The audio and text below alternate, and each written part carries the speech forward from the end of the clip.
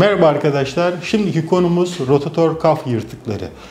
Rotator kaf yırtıkları nasıl oluşur? Ee, öncelikle travmatik olarak düşme, bir yerde asılı kalma sonucu oluşabilir. İkinci oluşma mekanizması ise yaşlandıkça yıpranmaya bağlı, tendinozise bağlı olarak yıpranmaya bağlı olarak tendonun kalitesi bozulur ve yırtılır. En sık yine supraspinatus tendonunda görüyoruz. Subscapularis tendonunun yırtıklarında görüyoruz. Öteki tendonların yırtıklarında infraspinatus ve teres minor daha az olarak da olsa görüyoruz. En çok yırtık supraspinatus tendonunun humerusa omuz başına yapıştığı yerden ayrışmasıyla ortaya çıkıyor. Yırtılmaya başlayınca bu bazen tam kat yırtık olabiliyor. Bazen tam olmayan parsiyel yırtık olabiliyor. Tendon önden arkaya ve aşağıdan yukarı olarak bir üç boyutlu olarak düşünebilirsiniz bunu. Yırtık genellikle önden başlıyor, arkaya kadar ulaşabiliyor.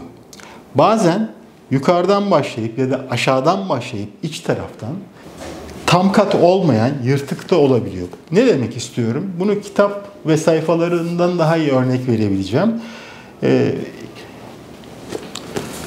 kitabın sayfalarından örnek vermek gerekirse bunu bir tendon olarak düşünün.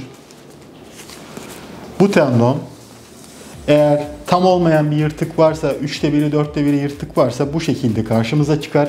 Alt tarafı kemikten ayrılır, üst tarafı kemiği tutar. Çünkü bu tek düzlemde yapışmıyor. Şu şekilde yapışıyor. Şu şekilde. Kavisli olduğu için gördüğünüz gibi humerus başı şu şekilde yapışıyor. Dediğim gibi tam kat olmayan yırtık. Tam kat olunca bütün burası olduğu gibi ayrılabiliyor.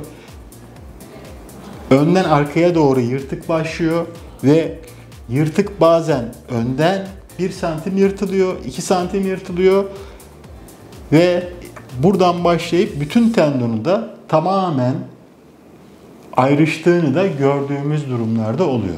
Tam kat yırtık olan hastalarda genellikle güçsüzlük belirtisi ağrıdan daha öndedir.